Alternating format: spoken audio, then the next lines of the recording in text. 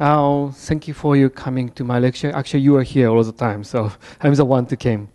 Uh, and um, as you can see, I'm always in blue from top to the bottom. And my iPhone is blue, my watch is blue, my socks is blue, my shoes is blue.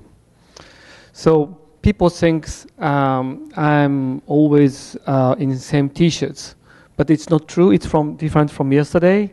I have more than 100 of this. And then, um, hold on, just how do, how it works. And then I got married with uh, Lady in Blue.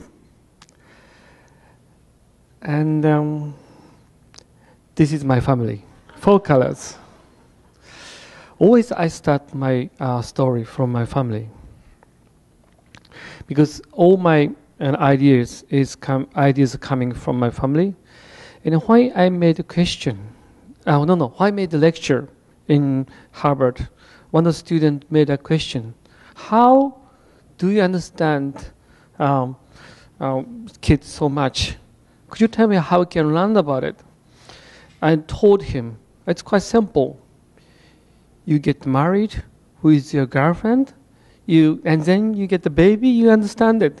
It's quite simple.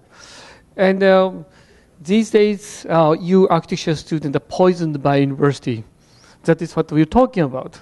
And when I ask uh, students, students, I ask the student, what is it? They said paper and the circular, but nobody told us that it's a T. So you got, uh, you don't have a no vision anymore. And um, in Japan, the all atelier type office work very hard. And but our, my office is different. You know, always uh, as you do in this country, we have weekend, and also we are not uh, we are not they are not allowed to come in before ten o'clock. And if you, they want to have a date, they can go for a date, even evening. You know, as long as they are doing work, it's fine. And um, did one thing we are very much proud of. And we had uh, eight marriages uh, last 10 years. So if you want to find your mate, you should come to my office. Always I say, you know, if you don't know the happiness, you know, you can't provide happiness to others. And that is our job. It's quite simple. So I'm going to start uh, my lecture from the project everybody knows. No? This is our in a kindergarten how it used to like, used to look like um, until 13 years ago. And when I went there, and I found out it's really shabby, but I felt you know always they have to walk one building, another outside, another, another building outside, and I felt it's nice. So I told the owner, you know, you can keep the building as it is. Okay? You don't need an architect. He really got upset. So he tried to convince me how many, as showing how many uh, leaking leakage are happening in the building, and I was taken to see more than 30 leakage points.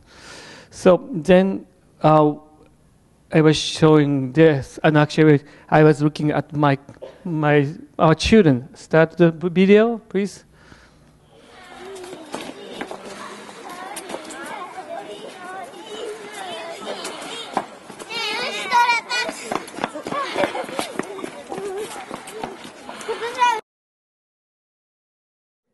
And we designed the circle so they keep going so that you know you know after that uh, they get tired they sleep better you know after they go home.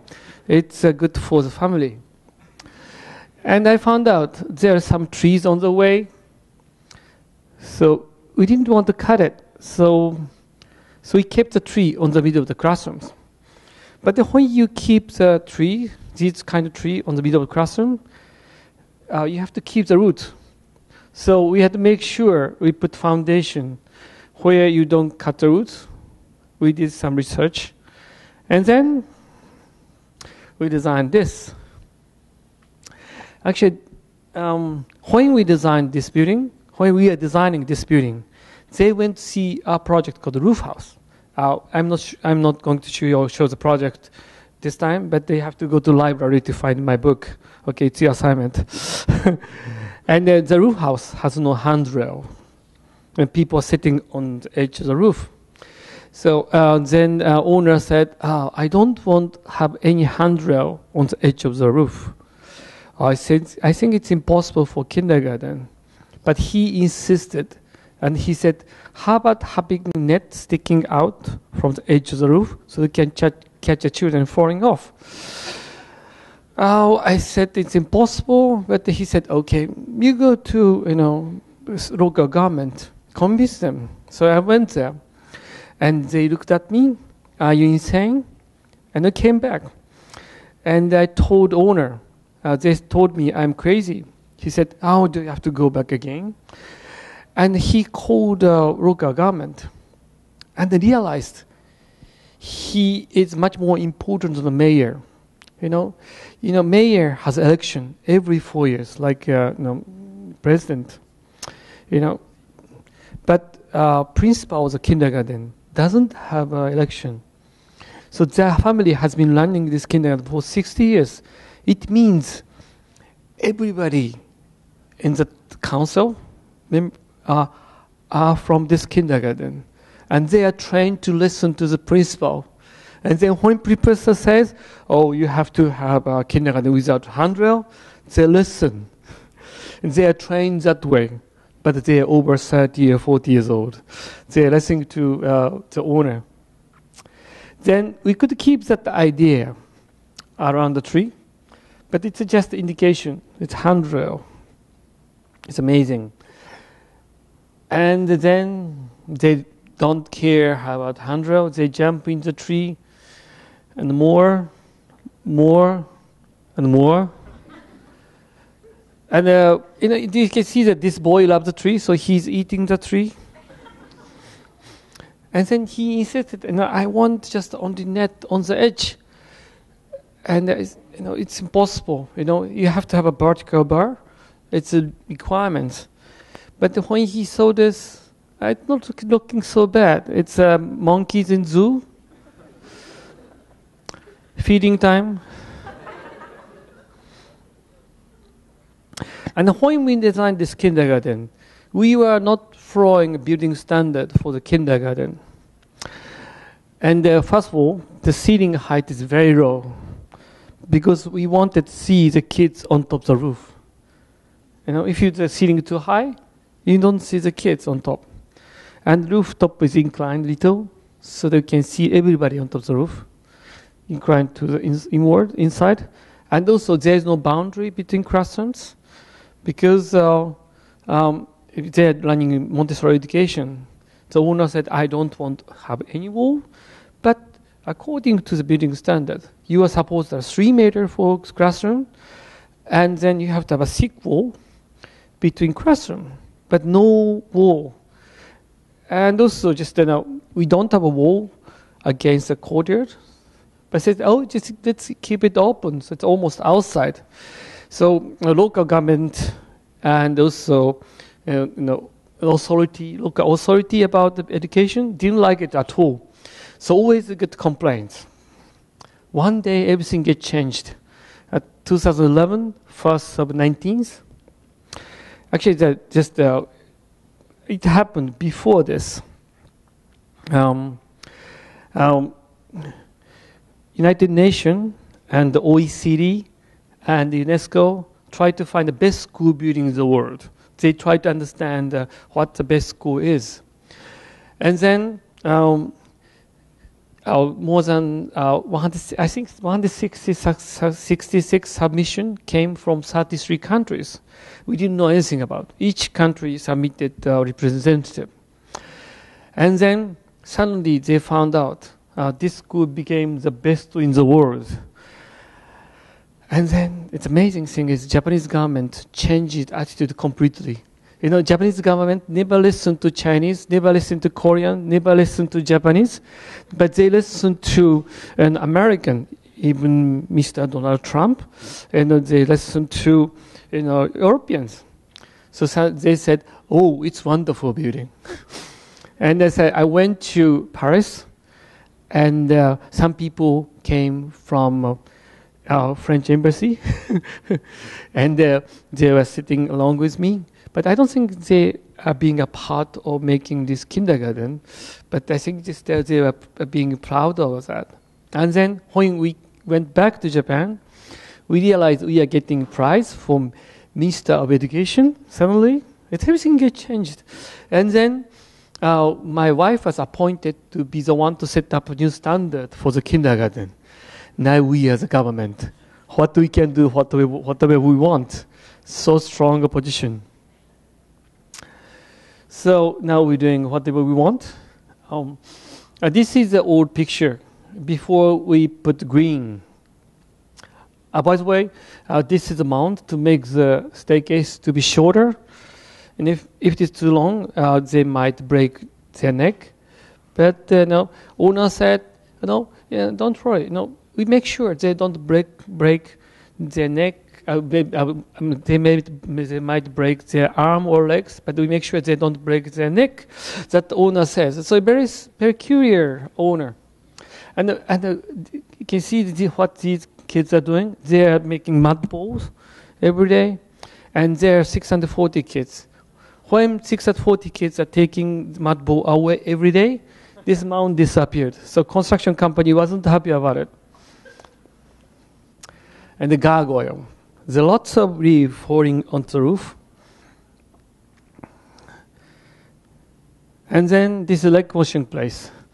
This is normal water tap. This is flexible so they can spray the water to your friends. And uh, shower.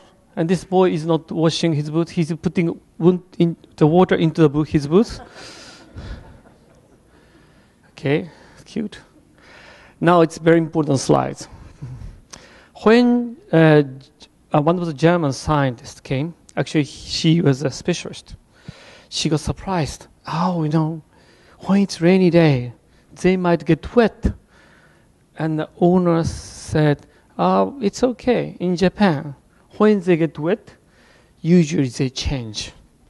And then the scientist said, well, still, still they might get wet.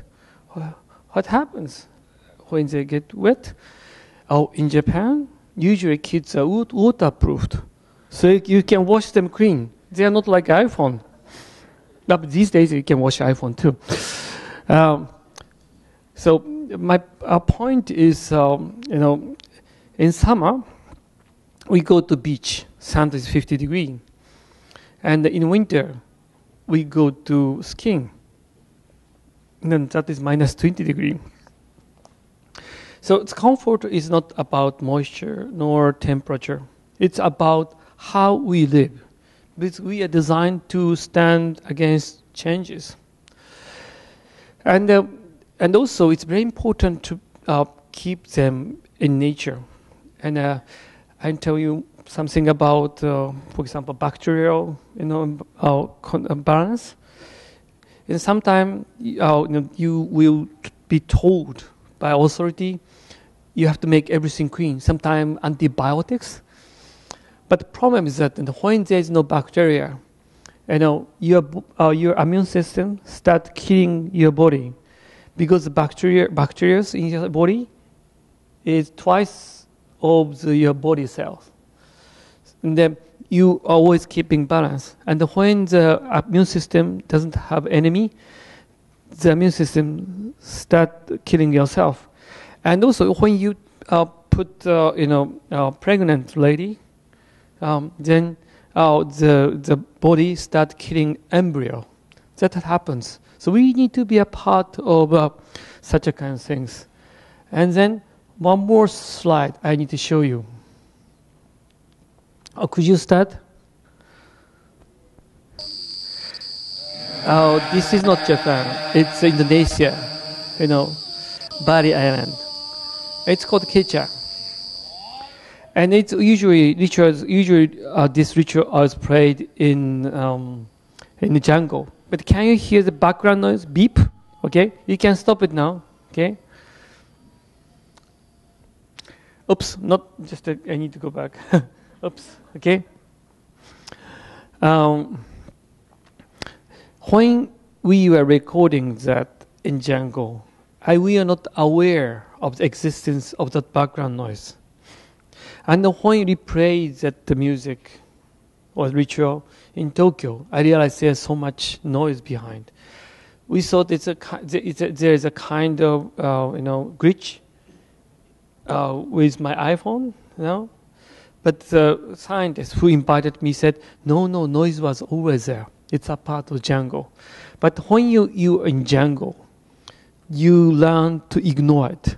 It's amazing noise cancellation system. It's not by frequency, it's by information. And he said, your body is doing exactly the same. In jungle, you can erase the noise of jungle, but in normal life, you are erasing noise of uh, your noise of your body. Your cardiovascular system making a noise of more than 70 to 90 decibel, bigger than noise from construction site. And once you dive under the water, noise come back. You know, when you are under the water, you can listen, you can, you can hear lots of noise, big noise, but it's not from the water, it's from your body. And in normal circumstance, you can't hear your body noise, body noise. But if you go into very special studio without reflection, and after 30 to 40 minutes, you start hearing your heartbeat and the breathing. And it's extremely noise, noisy. Uh, my point is that many scientists suspect uh, many most of the autistic uh, symptoms are caused by modern environment. And you know, the United States has the highest ratio of uh, autistic children. And the um, United States, the most advanced country in the world. So something to do with that environment. But if you are parents, you know, you know, when are you holding you are holding a baby in your arm in very noisy restaurant, they sleep very well, and then you bring the kids back to the kids room, and when they put in quiet bed, they start crying. That's the worst moment.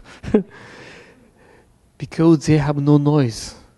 And you know, in jungle, you know, when background noise stops, that's the sign of the predator coming to eat you. So it's a kind of a danger. So background noise is needed. And also, sometimes you talk about silence. And then some Japanese students said, oh, tea house is a silence. But if you go there, it's a full of noise. And when you are in complete silence, you don't feel good, no? uh, you feel unsettling. That is what we are. We need to be a part of noise.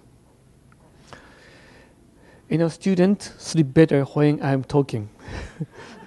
the same thing. Now, there is no, uh, no boundary between classrooms, and sometimes they teach mathematics right next to music, but they learn how then they learn to ignore it. If you uh, go to bar, still people are talking each other. That is what we are. We are capable of selecting information. And also, uh, there's another research today, and I have time, so just I'm telling uh, more stories.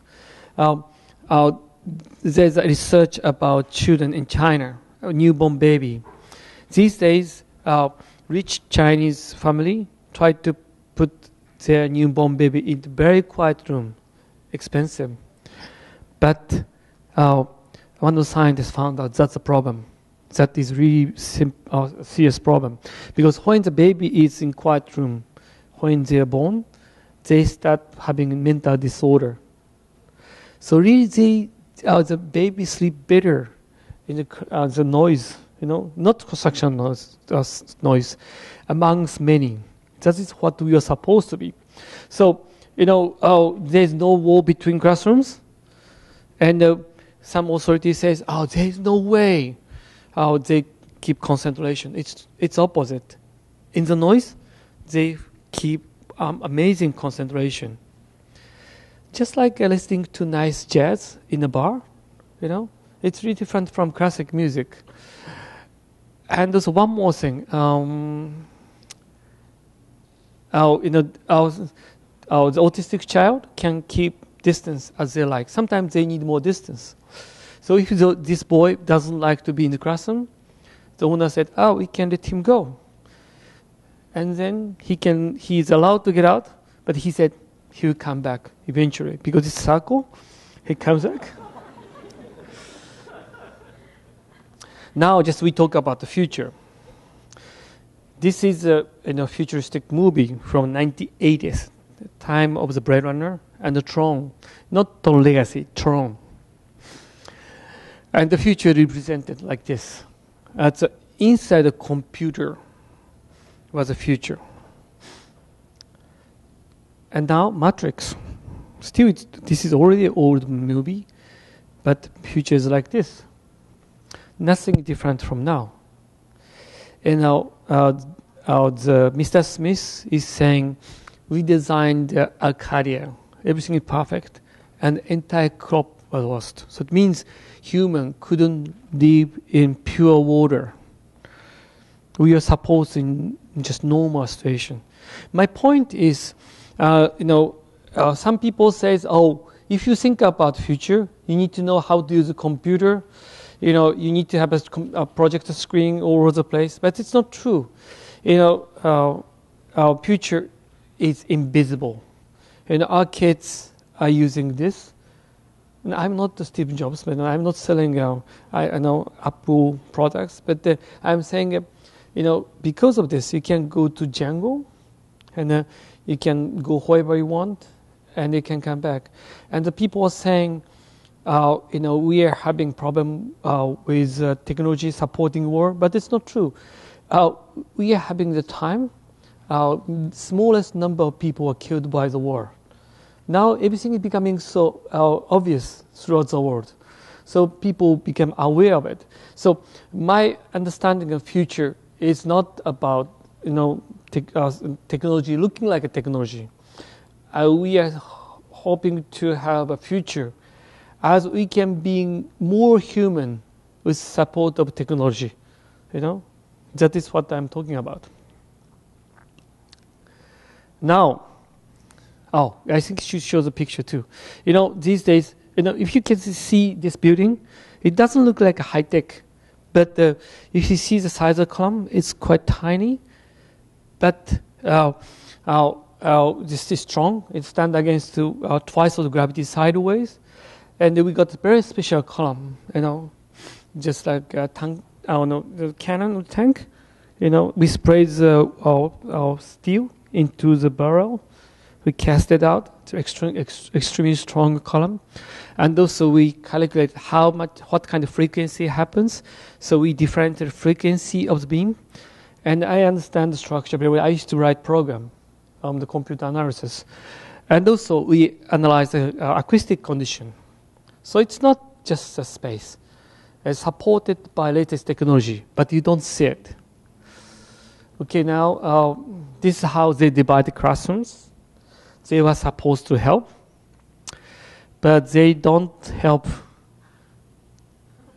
They think they're helping teacher. The Christmas time and uh, wash basin. These days, kids don't talk each other, so we force them to talk each other around the world. Christmas time, a monkey trying to fish another monkey. Uh, each classroom has at least one skylight. And uh, we designed a Santa Claus come down for each classroom. But we made a mistake, you know. Uh, one day, uh, owner um, invited very good looking American Santa Claus. We didn't tell him it's designed for Japanese Santa Claus. I can imagine what happened. the frame was too small. And also, I need to talk about this. These days, people think we have to use LED, LED, but you should know that LED has a problem, uh, cause a problem for the kids' eyes. Uh, the blue light behind the LED and in the, uh, in blue light know, in the LED kills the cells in the back of their eyes. So, still, we can't use LED for small kids. And you're okay. You're old, too old for that. But the, their eyes got very, uh, you know, very weak wall in the back of uh, their eyes, and they, uh, they lose sight. Mm. Now, this is a movement of boy between 10 past 9 to 30 past 9. Within 20 minutes, he moved this much. This is not exactly small building. Okay, could you run the movie, please? Uh, this is from uh, uh, one of the Japanese TV program. Kids keep running, but we didn't tell them they have to run. It's a spontaneous movement. And the point is, there is no, uh, no praying to, just they try to do something by themselves, just like a sheep coming out from a cage in the morning. And I just can see the, how they're running around. This is what they are, and how you used to be. And the blue guy, you know, looking down from a kind of special crane. And the roof is inclined. The slight inclination makes them run. And the point is, there is no uh, praying to, and when there is no praying to, they have to improvise to decide their movement. But that is how you know social activity activity happens. And uh, CNN, and it's announced, uh, it's broadcasted all over the world. But problem is that uh, no, CNN still think uh, uh, Japan is a part of China. They're using Chinese music. well, Japan used to be a part of China, you know, uh, maybe 1600 years ago. Okay, not anymore. Okay? Okay, could, could you start again? And this is the movement of the kids from drone. It's not ants. It's amazing, it's amazing how much they move. And uh, we projected this image in, on one of the models at Venice. Okay, next one.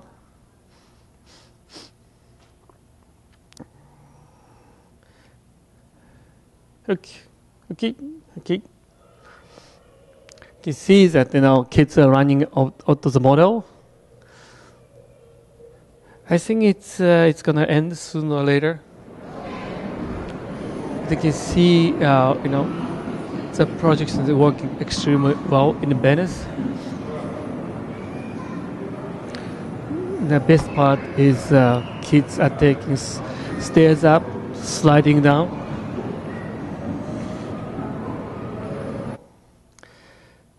Okay. Since we became government, we can do whatever we want. So we put seven floors in five meter. So ceiling height is very low. When you do that, it's uh, just some in danger. So you have to experiment. So usually you put your kids first. You know, you know, you know you see, first project you designed the mother's house because you can test we as a mother okay? And we do that with kids, huh?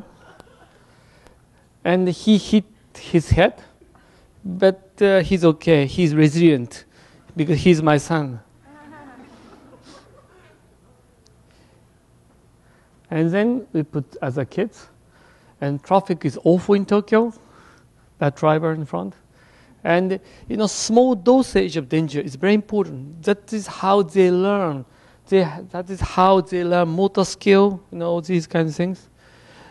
And they, they learn how to help each other, okay?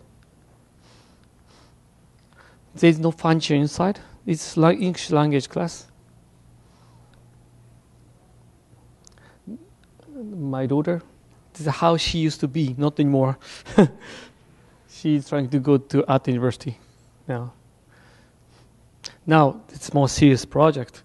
Uh, I think you know that the tsunami hap- uh, came to Japan, and that tsunami, uh, the highest tsunami reached 40 meter from sea level. 40 meters is amazing. You know, I mean, this building is uh, maybe 10 meter, so four times of this building. You don't know how you can survive. and uh, when it happened, you know, more than uh, 20,000 people killed. But the funny thing is, they had two hours to escape. They were watching news. And the uh, national TV was saying, you have to leave the coast, you have to leave the coast. But the people stayed because people didn't believe it.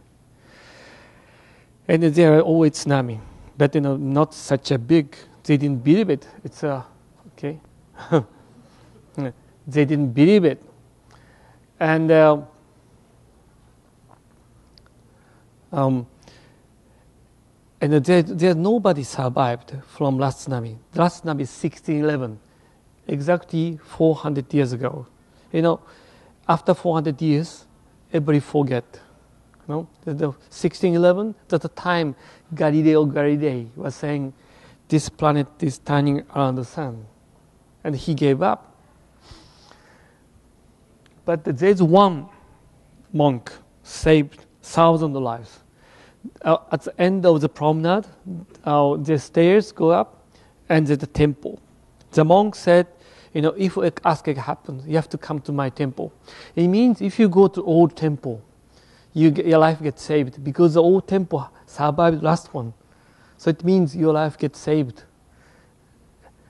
And uh, these trees were planted after the last tsunami. So this is exactly 400 years old. And we decided to use these trees to rebuild kindergarten. I was asked UNESCO to help them, and uh, not UNESCO, you know, UNICEF. But they asked me to design a temporary construction. I said it's wrong. You have got enough money to rebuild new one, so we should design for the longer time. So they said, okay, do you have money? Uh, is, is it enough? I said, no, it's okay. We, we recycle these trees. But the, uh, the things I'm very good at it, I say, you know, it's possible all the time. And the people in my office always have to suffer. but that is what you do when you go to new office. Very heavy columns, one, about two ton, 2,000 kilogram. Big. And we use the old joinery because we knew that you know old joinery survives Japan more than thousand years. The wedges we're using wedges, no, and we are making hole in the middle because we, uh, we need to dry the column from inside out. It's old Chinese technique, but the Chinese used to do that a thousand years. I don't know how and how they got such a craftsman with long arm to drill, you know, six meters, but they, they managed to do it. But these days it's quite easy. You, you get the drill in the middle. And it looks like a temple because uh, it's a part of a temple, but designed for at least 400 years, long, long lifespan. And this is a column telling a story. If tsunami comes, you have to come to me. This is, a, this is where you get life gets saved. I was killed by tsunami 2011. This is a message for the children 2411. This is how the promenade looking like. Big trees get uh, died, and we are planting new trees. So if you go to site 2411, maybe you may see our new project. now you can see, uh, could you run? You know, you can see how it's looking like. And uh, uh, many ch- children came back and we built that project on the middle of the forest, on the middle mountain. They're all gone. You know, there's a famous architect called Kengo Kuma. He moved all these, uh, made uh, his, his own town. so it's all gone. and, but uh, still, we managed to uh, save some of the original surface. And the people said, oh, it's too dangerous to put kids on the slope. But he's okay, know, yeah, this is how kids are supposed to be. You know, also in Japan it is illegal to put kids this uh, inclination, but it's okay, you know. This is how they train by themselves. If you don't get used to uh, survive in slope, you can live in San Francisco. Huh? And uh, the, this area is very cold in winter, minus 15, and summer is 40 degree. But they're happy to be outside. You know, you don't need to protect them so much. You know, this is how they were supposed to be. They keep running, running, and running like this. It's not training, you know. They are moving by themselves. That is the power of architecture, you know. Okay, you can go to next one. I think, oh yeah, I can do that. Huh? Okay. This is uh, another project. No, it's called Woods of Net, and inside uh, there's a uh, there's a net woven by you know uh, Canadian artist. Inside you have a net like this, like a forest, and uh, this is five more than 500 piece more than 500 pieces of huge timbers. And of course, this is this time is laminated timber because you can't cut a big tree. But if you using uh, laminated, survive a long distance, and that's the you, you, don't need to cut. You can keep the forest, but still you can utilize uh, timbers.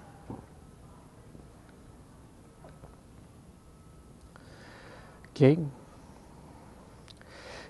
You don't need you don't need to tell them to how move around.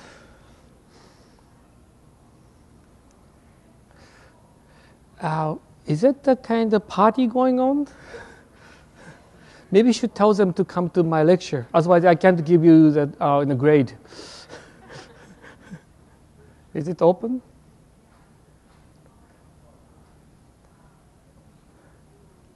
Okay. This is architecture, I think. You know, always people think, what is architecture? It's about the life.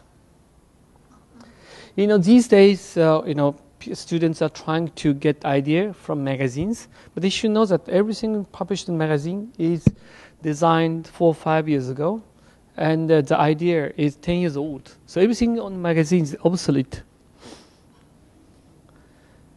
And another uh, important point when you design architecture for kids you have to design for the space for grown up as well. This is where uh, people spend more time. Father is always tired. He got some injury. He's okay. She's okay. My wife and my son. He's cute, my son, but not anymore like this, unfortunately.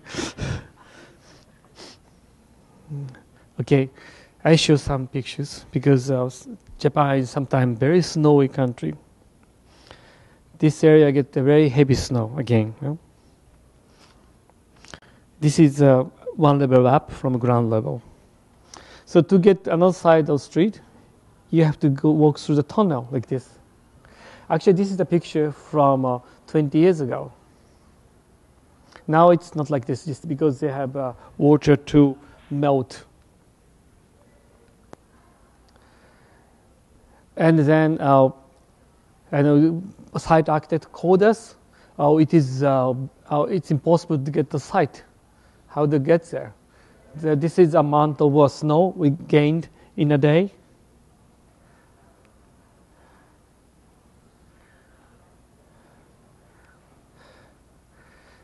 This is how, you know, also you can climb up the top like a Mount Everest. But when you design architecture in such a kind of harsh environment, we have to make sure, you know, it's good for you know, nice weather. Because even you are in Norway or Sweden, still you get weather, good weather in summer and springtime. It opens up, and then it's summer. Okay, it's open like a market. You know, there's a story about this uh, site. You know, uh, there used to be a town center, and heavy snow came, and uh, they that snow squashed more than 80 people, killed. So they built a temple, you know, say I'm sorry to them. And then after that, they built a new town center. Then earthquake came, and the wall fell down.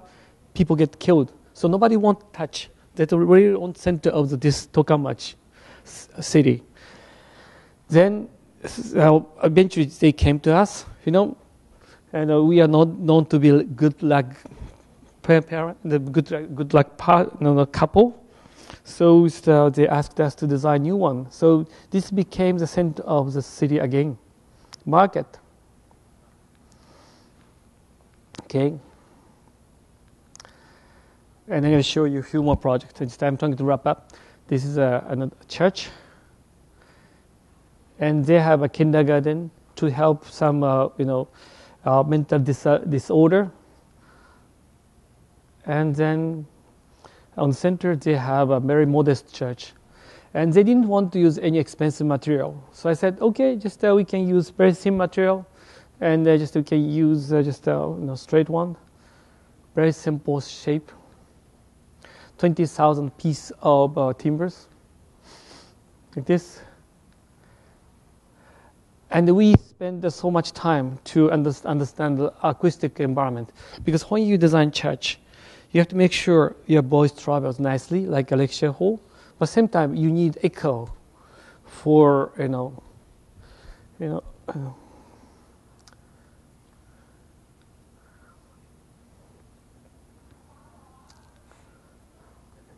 he's Peter Cook. he's trying to be, uh, you know, uh, priest. He's always always funny you can see that it's uh, composed of uh, small pieces. Uh, we, we used about uh, 20,000 pieces. And this wedding happened in the space. And um, actually, they were cup, uh, couple worked on this project. So I told them, if you don't finish the project in time, you, you, there is no wedding. So they worked very hard. and the lighting, Sometimes students try to get same lighting as daytime. That's not true. You know, it's not right thing to do because after dark, church should be dark too because the church represents the world, and uh, after dark, uh, the light lit up only people and light goes up. And you can play this just a little bit, and always uh, I uh, play piano uh, to confirm the acoustic environment Uh,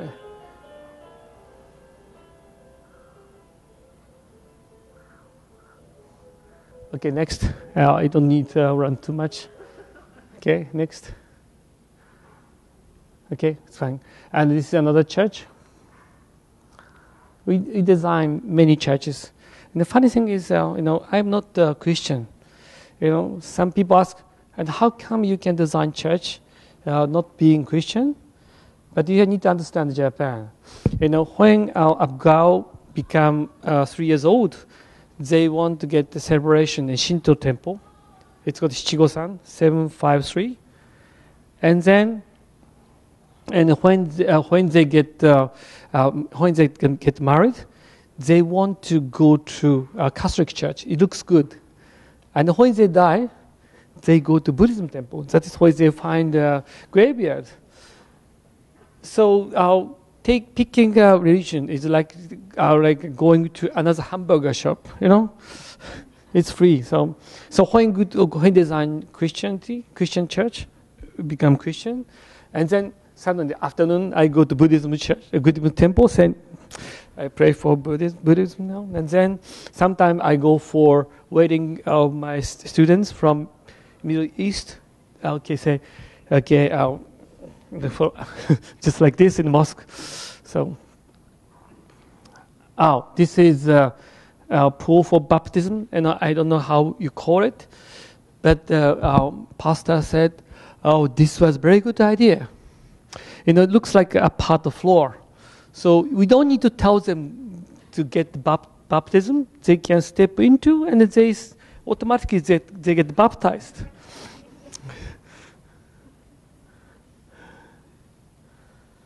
Okay. Oh, this is a poster. And this uh, um, uh, this church is called uh, uh you know church with some church with Eve, Eve, Church of Eve. You know, always nice to have a Eve. You know, in in, the, in Japan, there's a saying if you let people to get into Eve, sometimes these people take over your main house, but it means people used to invite, uh, you know, peop, uh, you know, the owner of the house used to invite people underneath the eave, so uh, they can help people on the street. So this uh, is happening. Uh, this is the best part. Uh, one of the best part of my profession. You know, it's it's amazing moment. She gave us a Bible from her father She's already 85 years old, so the Bible must be uh, more than 40, 50 years old. But she said, you know, I want you to have it. So it's, it's the biggest honor we had. Okay, I think it's the, this is okay, huh? And then we can show you another one, you know. Could you run this? Uh, this is another kindergarten we uh, we published just only uh, four months ago, and uh, it's umbrella to make our kids making sakura around. How it's looking like? It's uh, these days we make many timber buildings. Again, there is no corridor, always you have to walk around, but it's good for the kids. Uh, could you run this movie, please? And uh, there is no uh, edge, so you know even he falls, he's okay. And it's uh, know because these days uh, you know parent doesn't want to get them hurt, but this is how they you know, train themselves. It's a part of their training. And this is uh, March, so water is very cold. And uh, this girl doesn't like, take, doesn't like to take any shower in her house. she keep taking a shower, 12 degree in the winter. And then this uh, small boy is so happy and uh, come to me. And no. oh. And the daddy, then they go back. It's no more story. Okay. I think it's too much. Okay. And if I think two more projects. Um, this is uh, Chamber of Commerce. Oops. And uh, in the and in Tomioka City, this is a World Heritage uh, Silk Factory. This silk factory is known to have uh, our first, uh, you know, I guess, a rule for working condition, you know, in Japan. This is the oldest modern factory in Asia, and uh, and uh, they they they needed to work only eight hours a day, you know, 19th century, you know, and also they had the latest uh, uh, in medical care, you know, from the doctors are called from Europe, French French doctors and uh, they had a weekend, and uh, so this became a kind of model for uh, modern factory in Japan in the last century, uh, not 19th century. And this is a station uh, uh, with gold medal. Actually, they used to work for us. And then there's another famous architect called uh, Kengo Kuma. Always he get the biggest biggest portion. He get the biggest project, and then I get I get second biggest and the district chamber of commerce. And we made try to make a passage in the in the town. Then, and we had to preserve this facade. But this building uh, collapsed after the earthquake. So we had to rebuild the facade, and also uh, we had uh, we I can, I can say refurbished all the warehouse. The idea is uh, keeping this geometry like this, and then uh, uh, making another side to be modern. And this city is not just world heritage, it's about world heritage. Uh, this city has you know, a company to make launching space rocket, and they sent space rocket to uh, asteroid. They picked up the piece of asteroid back to Japan, back to, you know, the and, and also they have the latest medical company. They have the biggest share of the machine in the world. So uh, this city, city is not about not about uh, history. They wanted to have future. Okay, uh, and this is a picture of the old factory. This is the first modern uh, truss structure, timber structure in Japan. You know, you, you know, 440 years ago, Japan was really behind. 140 years ago, you know, and this is a structure we made, and it's a monocoque structure, but yet we are keeping the feeling of timber. But it's not the truss, it's a surface model. So one side looking like this, and you walk through, and uh, then you get in, like this mesh structure. And this is how it's looking like. This is uh, this is derived from the local detail, uh, the, the, detail of the local architecture. It is get light like this, and also same time represent the silkworm factory. This is how they used to make silkworm. Okay, okay. Oh, this time it's working itself. So just uh, in the, uh, from the books, uh, bookshelves, everything got same diagram, but it's all uh, you know, derived from uh, local, you know, culture. 100% timber. And these days, uh, you see uh, the magazines saying, you know, timber timber architecture, but most of these are not really timber. You should be careful, you know. I think eventually people start discover. Oh, this time it's working now.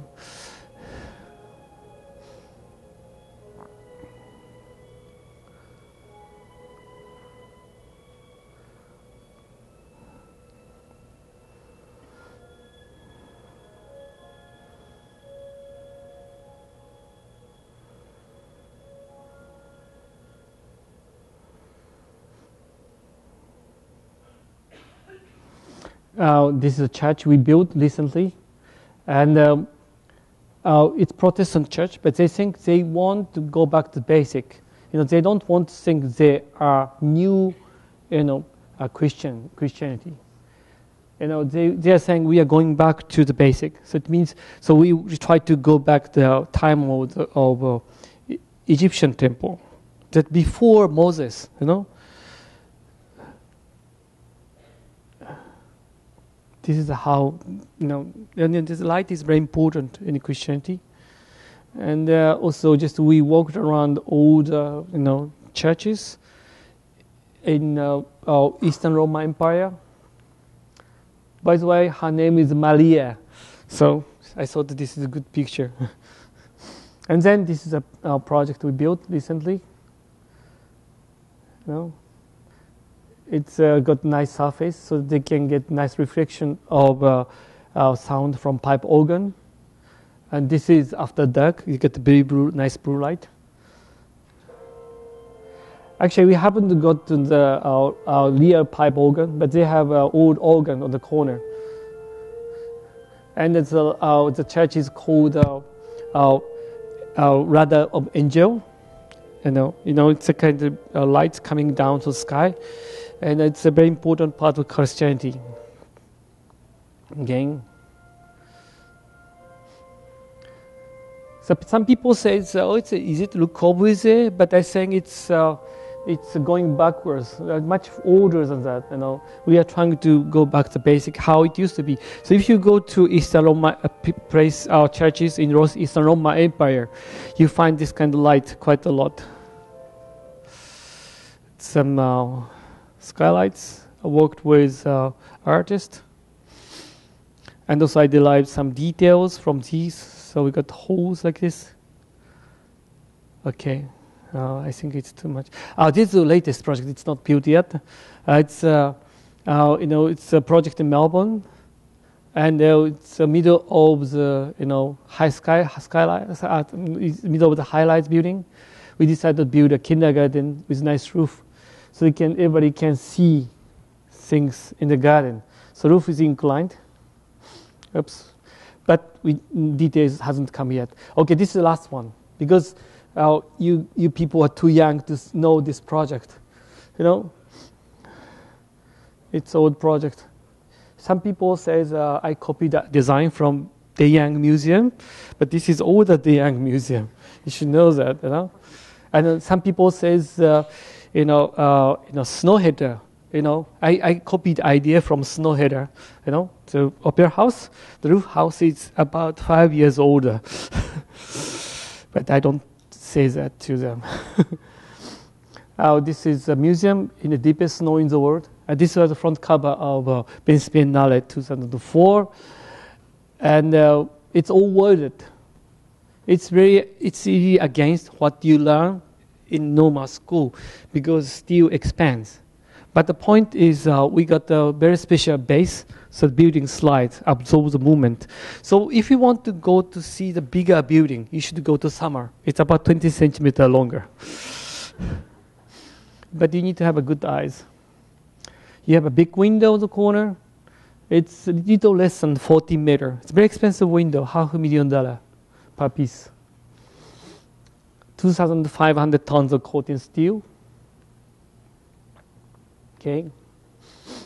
And in winter, five minutes, one day, and this area gets 30 meter of snow each year, squashed down six to seven meter of ice, and then all disappears. Very dangerous snow. So if you coat in the crevice here, you have to wait until May to come out. It takes a long time to get out. And then one day, our curator called, uh, snow is piling out, piling up. Are you okay? Do you think it's okay? I said, it's okay. It's calculated. Then they called us again. Are you sure? So I called structure engineer. Structure says, he said, yeah, I, we calculated carefully. It should be okay. So I told the curator, structure engineer says, probably okay. they called us again, scary. And now just we are getting used to, but it's really heavy snow. It's about, uh, you know, uh, more than 2,000 kilograms per square meter. And two, uh, two cars, and one car each square meter. It's very heavy. And, uh, but when you, the snow is reaching to the ceiling, and we got very nice line of the light, we call the Tadao Ando effect. now it's coming to the end of slide. Uh, so this is a car we are driving. It's called Citroen Nusibu. And uh, you know, there's no air conditioning. So uh, in the summer, you have to open it up. But uh, sometimes it rains. So, but still you can open this window. But if you forget to close this when you go into expressway, all the water in the bonnet comes into the cabin and making ponding on the floor. Then now, if you read uh, instruction very carefully, you know, if water water ponds happens, you can pull the plug out from the floor. You can let the water out. The, my point is, this car is not perfect. You know, the, uh, the, but great thing it was in production for uh, almost 40 years, something like that. It's amazing, more than 40 years, 45 years. You know, it's easy to design architecture to stand for a long time, just as a structure. But usually people destroy it before the lifetime because people don't like it. And some old architectures are not durable, but people try to save it because he, they like it. And uh, the owner of the roof house uh, gave a very nice comment. You never get satisfaction, 100% uh, perfection from Tezuka architects. Always there's something going wrong. But I promise, you know, you get you love Tezuka architecture 200%, like kids. You can put many people in, you can put uh, many things in, you can put family in. That's the time I came to uh, uh, uh, UC uh, Berkeley, you know, San Francisco, 2006, um, uh, I think. Thank you very much.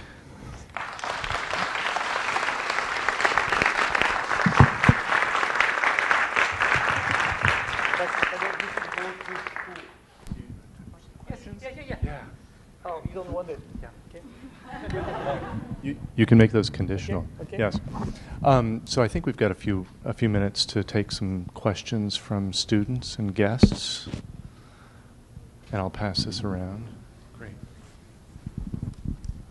Hi. Um, oh, um, it was really exciting because um, it's like you know seeing a lot of quotes from the train, and then I remember them because they're so nice, and I finally meet the author of all that quotes. Um, so what was really exciting about the presentation was that I see a lot of kind of really in, intense research on various topics uh, depending on the purposes of the building, such as you know how the walls uh, are not there in the kindergarten. You're considering the proxemics of the kids and uh, you know high tech acoustics and lightings and history of religious architecture and all that things and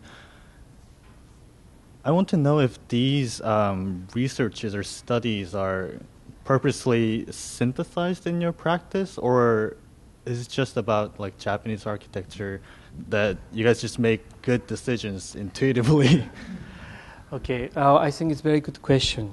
You know, you can be clever so fast because still you are when you are young, you are not clever enough. You don't have enough knowledge.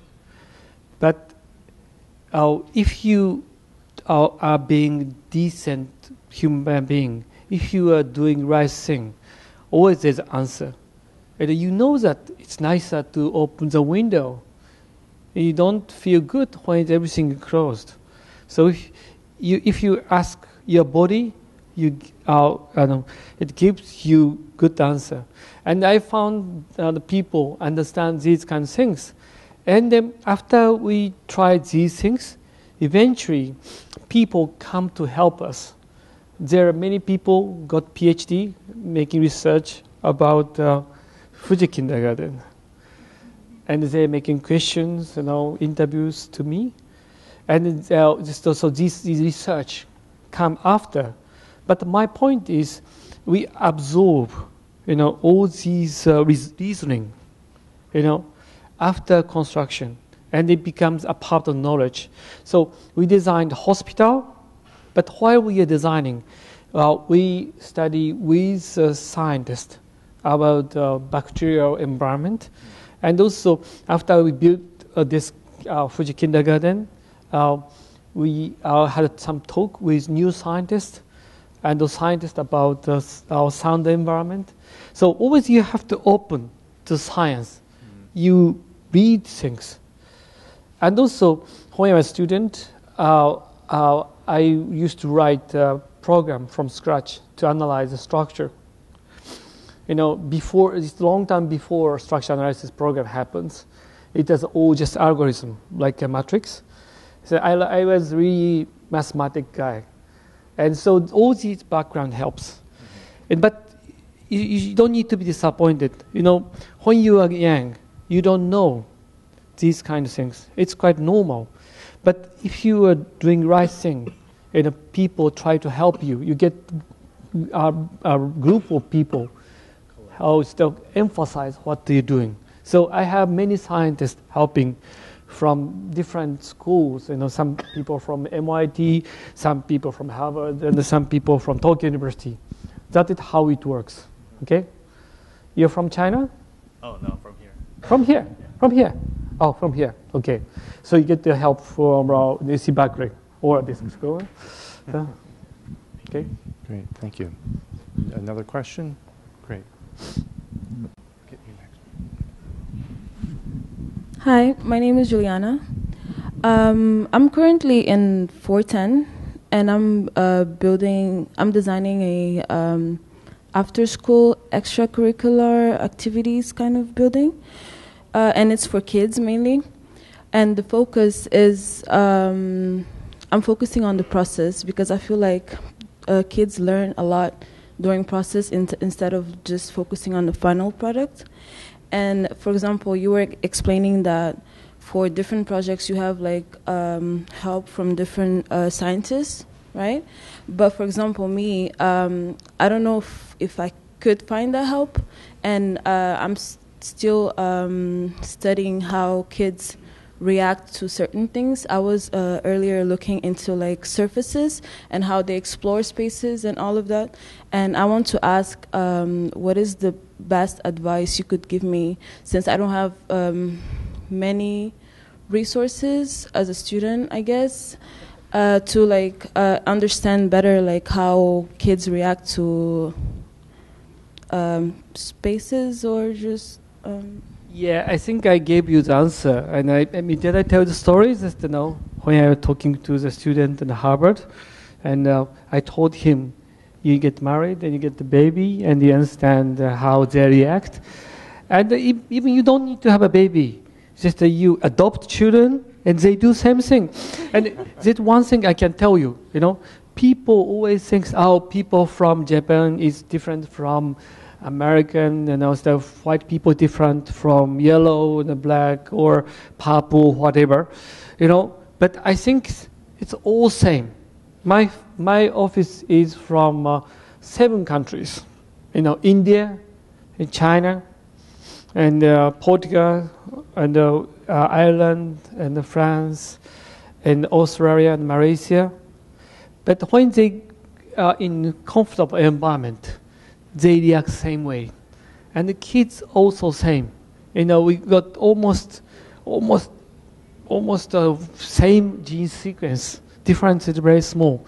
So just try to observe it.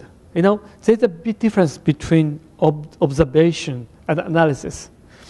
Even you try to analyze it, you know, you get, don't get answer. Analysis is usually based on the kind of and quantification. You, you just our scientists try to understand the, quantifiable, you know, things to be picked up. But observation is different. And analysis is the one to get in. You know, some people, so for example, when you ask somebody, why this tea, tea, this tea, tea is so tasty, and then scientists try to boil this tea and try to understand the, you know, uh, ingredients, and um, they, they, they make spectral analysis, and then they list the numbers. So he said, oh, this is the reason why it's so tasty. It doesn't mean anything. But if you talk to an old lady, she will give you answer. Oh, it's quite simple. Outside is cold, inside is warm, and as the, you were, uh, you know, in, in front of the table, usually you, know, you eat with a, is a family. But after all, and I have been making your tea already 25 years. That is why this tea is so tasty. But that's the, the truth, you know. Truth is not about analysis. No, just you can't analyze it.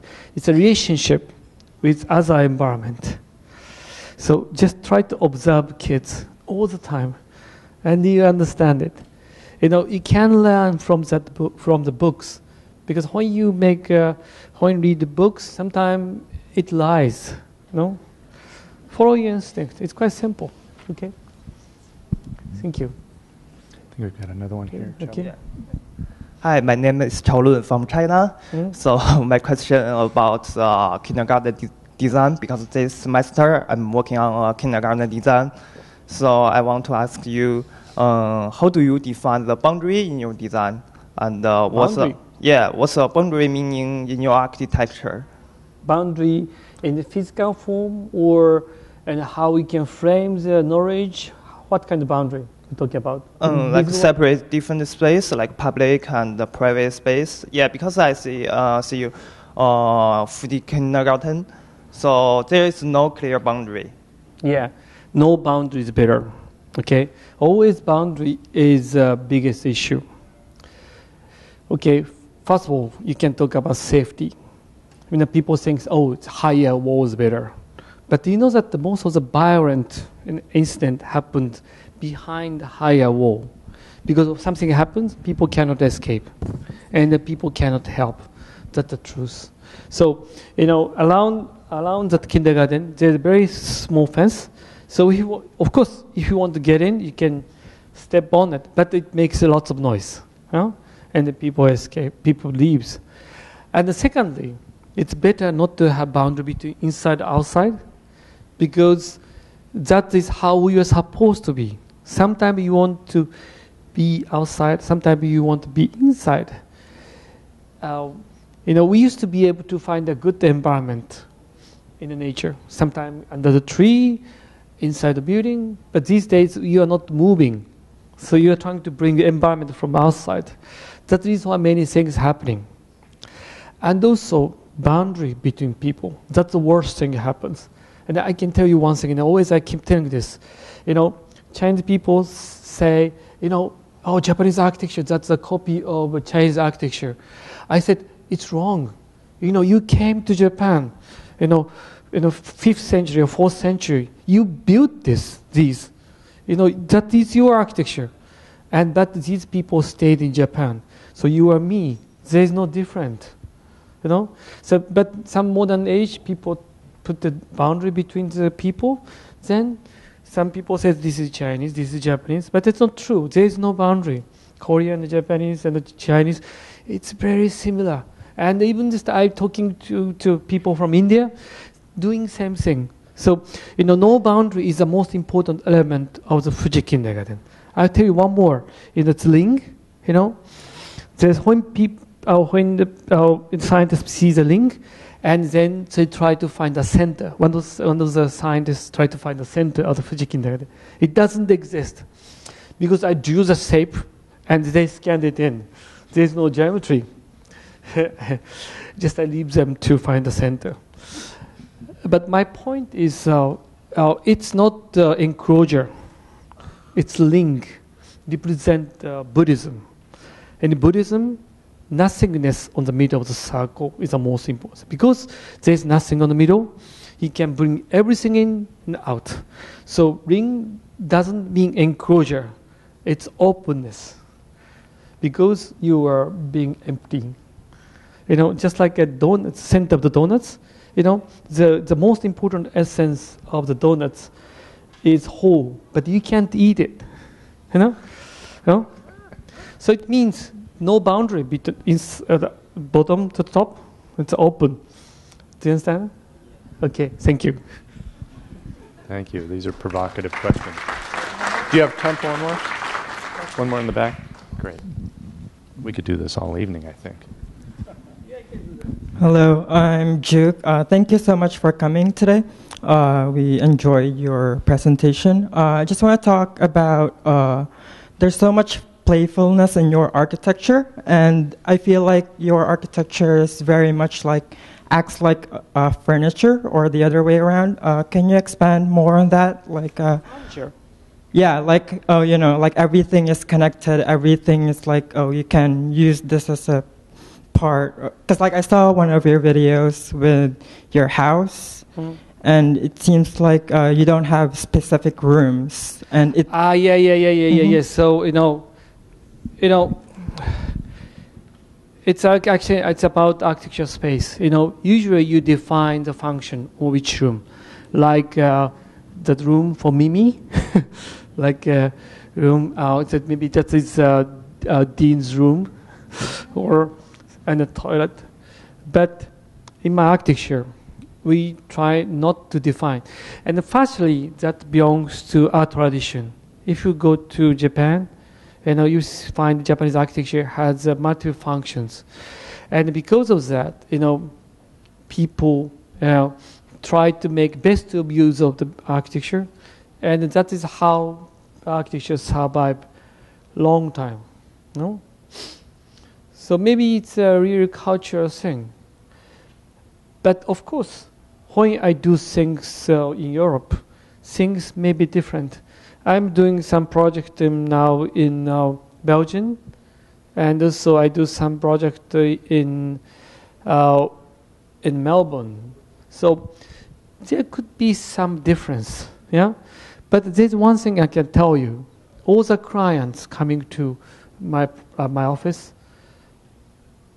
are you know just really understand what we're doing no so we try to understand our philosophy but it doesn't mean that they are doing exactly donuts. We always uh, you know we say you know, we are a very nice donut shop. But when they come to my house and uh, always uh, always they say okay we, uh, we make very nice classic donuts but we have other merchandise. How about pretzels and uh, dumplings other things? And then it works. As long as the philosophy is good, you know, you know, you can extend the philosophy, you know, you know, modify the property to, to suit condition.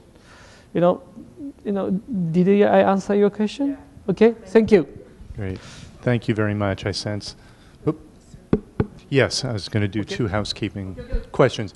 You've got some books there that you want to do something with, I think. Oh yeah, yeah, yeah. Just I was trying to give this to the school. Oh, to the whole school. Okay. okay. Oh, thank you very much. Okay. So just uh, there are three monographs, one to three, and uh, this is uh, my lecture in Harvard, and there's the uh, they published as they people understand the lecture. But then, uh, if you don't have money to buy this in Amazon, you know you can uh, you can Google my TED talk, and it's a shorter version. Okay, thank, Thank you very much.